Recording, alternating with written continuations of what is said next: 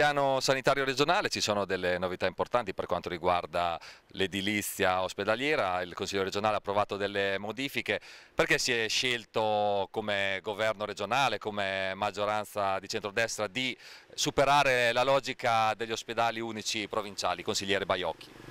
Sì, si è scelto questa logica perché è quella che era stata proposta in campagna elettorale con il programma elettorale, perché è quella che hanno manifestato in maniera molto chiara i cittadini della provincia di Pesaro Urbino ed è una promessa che è stata assolutamente mantenuta. È un primo passo importante, un atto amministrativo fondamentale affinché si possa partire subito con la costruzione del nuovo ospedale di Pesaro.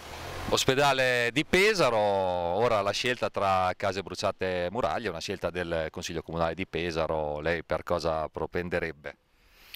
È difficile fare una valutazione dipende anche dal, dall'idea che il Consiglio Comunale, il Sindaco di Pesaro ha di questo, di questo tema, su questa tematica. L'importante è costruire subito un nuovo ospedale efficiente che faccia in modo che la mobilità passiva, che è il numero più elevato di tutta la Regione Marche, il numero più elevato è quello proprio nella, regione, nella provincia di Pesaro Urbino, eh, faccia da blocco e insieme a professionisti che possano rappresentare in maniera molto importante il nostro ospedale riesca a tenere all'interno della nostra provincia, all'interno della nostra regione i cittadini.